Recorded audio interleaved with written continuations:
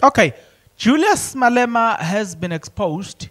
Julius Malema and Floyd Shivambu. There is an affidavit that seeks to expose U Floyd Shivambu and U Julius Malema as part and parcel of the problem, uh, as part and parcel of people who looted a VBS. Well, you said Bong's VBS. Yes, um, there's an affidavit here. I'm going to read what is being said on the affidavit. NPA, National Prosecuting Authority, have responded to this, the leaking of the affidavit. They are not happy at all about the, the, loco- uh, or whosoever who leaked this affidavit. They are not happy at all. I don't know okay, what are they going to do about it because it's one thing to be happy, but it's also one thing, you know what I'm saying, to do something about what you are not happy about. So let's now um, let me give you a glimmer of hope. Let me give you a glimpse, not a glimmer of hope, but a glimpse. Uh, it says um, the payment or the payment or the payment to Ska, Sgameka. To my knowledge, Sgameka is a company owned by Brian Shivambu, a brother of Floyd Shivambu. Floyd, who is the deputy president of EFF, the company was provided to me by Floyd to make payment that I prom- that I promised to the EFF. I made this promise following the news which had broken in the media that VBS has granted former President Jacob Zuma a home loan for his Nkandla resident. Negative publicity arose in the country, particularly from, from those that were opposed to Zuma at the time, amongst others, those was EEFF. Okay? That's the affidavit. Uh, paragraph 2 says EFF stated, uh, look, started a campaign. Wait, EFF had started a campaign of uh, of mentioning VBS in its political rallies through its president Julius Malema. As a chair, a chairman of EVPS, I then decided that Malema and EFF should be approached for VBS to explain its position on how the loan was granted. Uh, Goro, uh, who, Ulukokoro, which was VBS PR consultant, arranged a meeting for me uh, to meet with Julius Malema and, e, uh, and EFF uh, Penthouse in Sentin around April, May 2017. I went there alone. Uh, uh, sorry, guys. I went there uh, alone. Floyd Shivambu and Marshall Dlamini, um, Dlamini Marshall did not participate in the meeting, and it was um, the look. It was eh, did not, and he was seated afar from where the engagement took place. Okay, hey, go big guys. Now, the essence is that they benefited, but wait a minute. Let me explain this. But give me a few minutes as I explain this. But you need to do this first. If you are not yet subscribed, what are you waiting for? Come on, good people. Because to subscribe, it is free. To like the video, it is free. To comment in the comment section below, it is free of charge. To click the notification bell, it is free of charge. To share this video, it is free of charge. To watch this video until the end, it is free of charge. Also, good people, I mean, come on, to watch the ads, it's free of charge, and that's how you financially contribute to this YouTube channel. Speaking about financially contribution to the channel, you can join, become a member of this YouTube channel from as little as 20 Rand a month. You can also uh, use the super thanks button. In case you don't want to do that, guys, there is a way where you can use my media company banking details to donate to the channel and you know what i'm saying we'll bring you more and also guys want to buy more equipment. So the power is in your hands.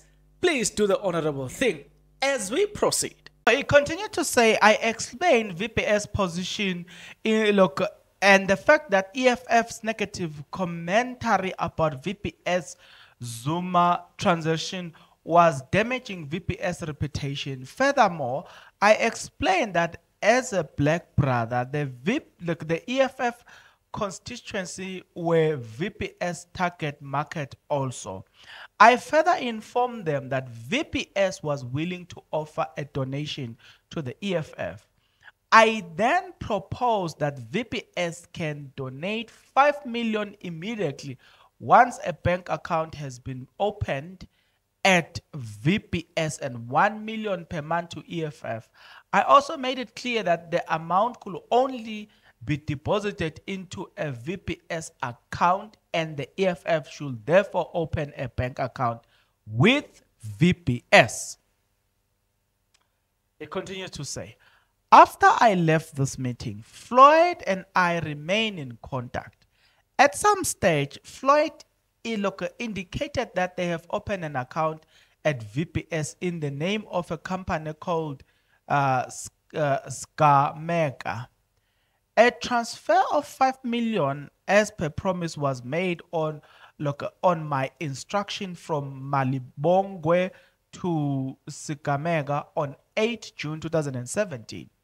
Sub, look, uh, a subsequent payment were made to Sgameka VBS account every month and were paid from Vele of any month. Uh, uh, what what subs that is um, myself, Julius, and Floyd understood.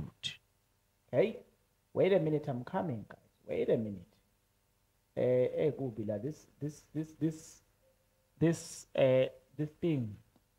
Okay, it then says, understood the concept of donation means um, gratification. Hence, Floyd and Julius did not provide me with EFF's own, own banking details to those donations.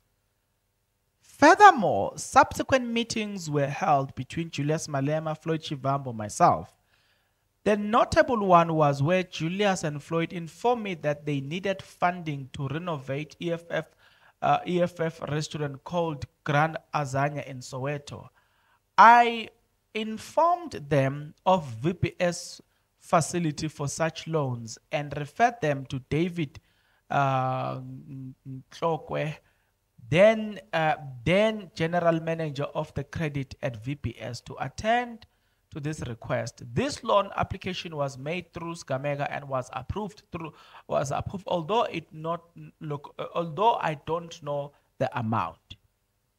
It continues to say after VBS was placed under uh, curatorship, I met Floyd and his younger brother Brian several times at Floyd's residence in Bryanston.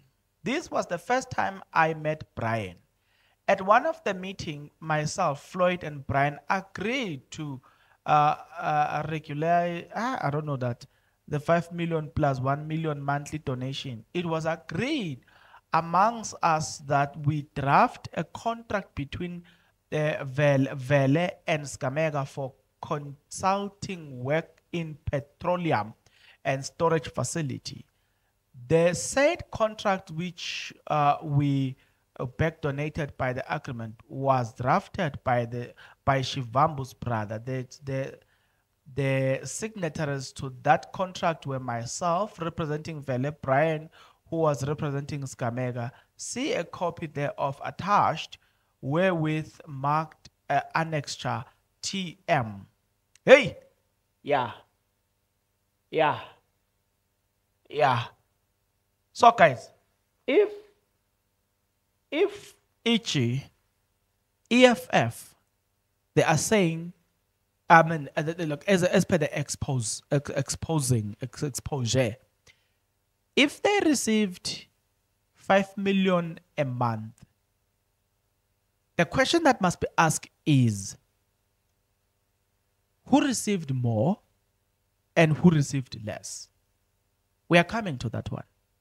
Oh, let me leave it there.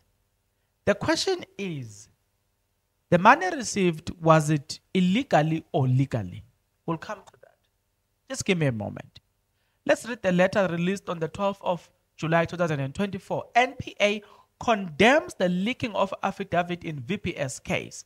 The National Prosecuting Authority (NPA) strongly condemns the unlawful, the unlawful, uh, strongly condemns the unlawful, um, the unlawful leaking of an uh, of an affidavit in the VBS case.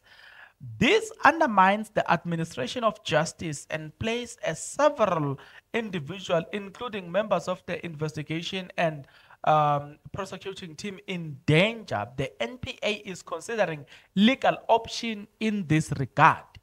The leaking of a confidential document in high profile and complex corruption case like VBS uh, compromises the hard work of investigators and prosecutors. This work involves multi, um, multi prolonged and long term uh, prosecution guided strategy, um, uh, regaining the utmost the, uh, discretion and uh, confidentiality, including in the handling of documents and cooperation agreement with accused persons.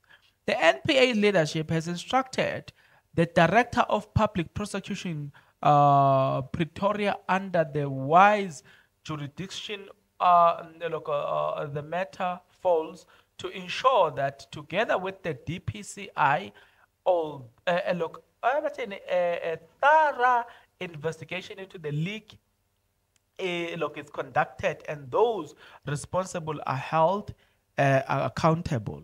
Issued by um, Advocate Tim Tun Zimhaka, NPA spokesperson.